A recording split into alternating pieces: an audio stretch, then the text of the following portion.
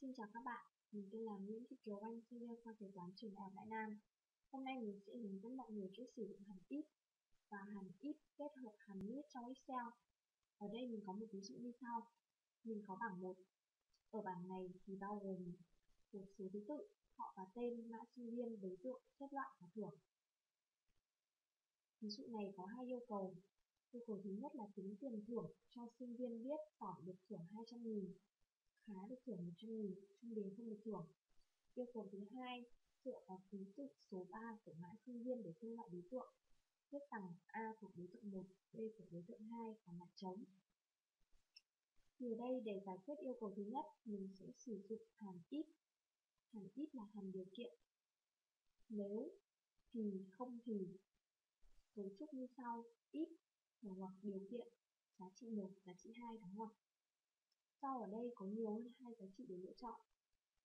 Cho nên mình sẽ sử dụng hàm hai hàm ít lần nhau. Có cấu trúc như sau. Ít mở ngoặc điều kiện một, giá trị. Và có một lệnh ít nữa. Điều kiện hai, giá trị hai, giá trị ba. Đúng không? Mình sẽ tính thưởng. Và lệnh ít như sau. Bằng ít. E7 bằng giỏi triệu 200 nghìn. Và được tiếp tiếp theo. Như vậy. Bằng khá.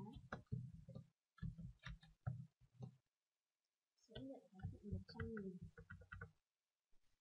Nếu không thì sẽ nhận giá trị trống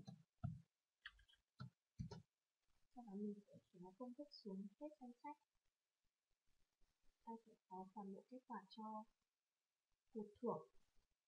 Như vậy là đã hoàn thành yêu cầu thứ nhất. Yêu cầu thứ hai, mình sẽ sử dụng hàm ít kết hợp nít để phân loại đối tượng. Hàm nít là hàm dùng để tách ký tự ở giữa trong một chuỗi ký tự.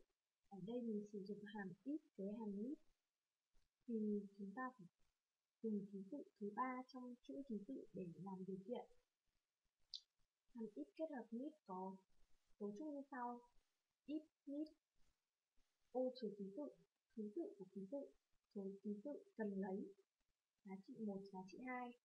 Sau ở đây cũng có nhiều hơn hai giá trị, cho nên mình sẽ sử dụng hai hàm if kết hợp need lần với nhau ở của đối tượng như sau bằng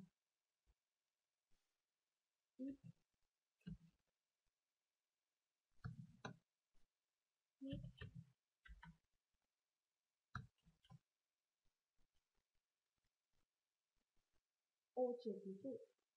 Là OC7 số ký số ký tự của ký tự mà chúng mình sẽ lấy là số 3 và chỉ lấy một ký tự.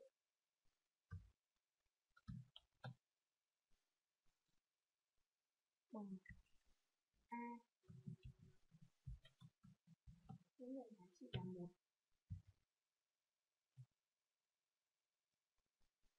Thêm một ít nữa.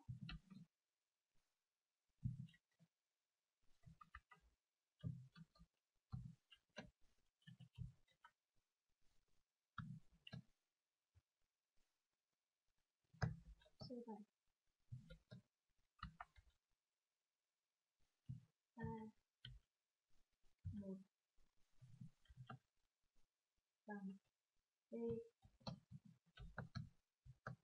thì sẽ nhận giá trị là 2 nếu không thì sẽ nhận giá trị trống. Sau đó mình sẽ kéo công thức xuống các danh sách. Ta sẽ phân loại được các đối tượng. Trên đây là video hướng dẫn sử dụng hàm if và hàm if kết hợp hàm if trong Excel. Cảm ơn các bạn đã theo dõi. Chúc các bạn học tập và làm việc hiệu quả.